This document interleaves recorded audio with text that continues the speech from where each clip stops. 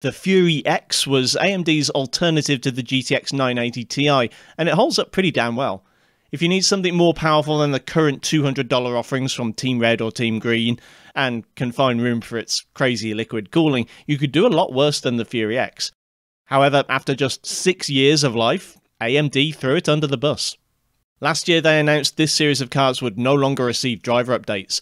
Thankfully, the community wouldn't let this injustice stand, and thanks to modded drivers by Amernime Zone, it is still possible to run this graphics card in even the latest games.